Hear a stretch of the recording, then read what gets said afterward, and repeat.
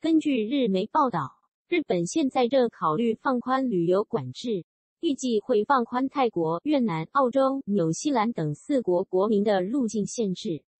原因是因为这四国目前情况已经趋缓，目前台湾未被列入。根据日本读卖新闻报道，之前日本因应 COVID-19 而管制世界一百一十一国国民入境日本本土。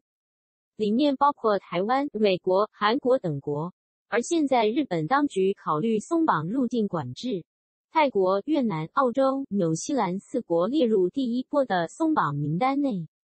据报道，日本实施入境管制措施期限到六月底为止。由于上述四国的情况控制稳定，日本国内企业人士盼能尽快重启双方人员往来的声浪渐高。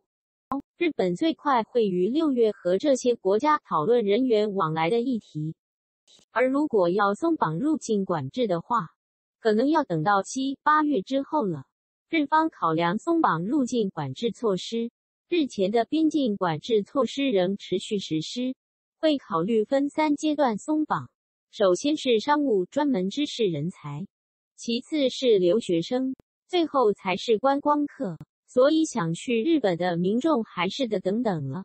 延伸阅读来源：网络资料。